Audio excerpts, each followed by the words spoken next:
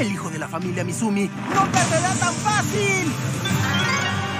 Superaré este obstáculo sí o sí. O eso solía pensar en mi reducida mente humana. Puedo leer y escribir hasta cierto punto, pero... Quiero que puedas comentar conmigo todas las novelas. A ver, las palabras waifu, juzbando y la otra palabra es... ¡Estas son cosas de otaku!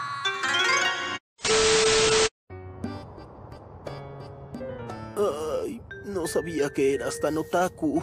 ¿No podrías usar otro atuendo? Cada vez que te veo se me van los ojos.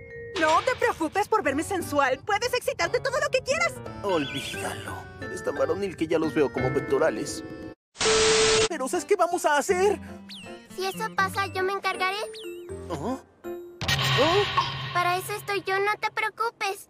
Si se mete algún monstruo,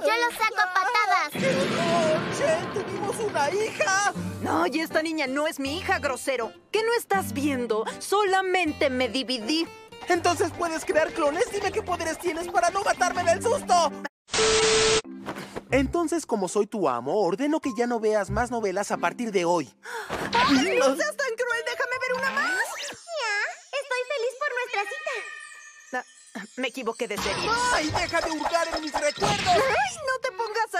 Aunque ya las grabé para verlas completas después. Entonces no los veas en mi cerebro. Entonces no sería emocionante, ña. No hables así que me da ansiedad.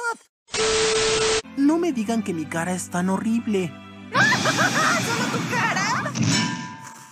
Eh, es cierto que posees una apariencia bastante peculiar, pero la culpa la tiene tu mamá. Digo, es tu mana. ¿No? Exudas tanto maná que parece que tuvieras llamas que distorsionan tu exterior. Es por eso.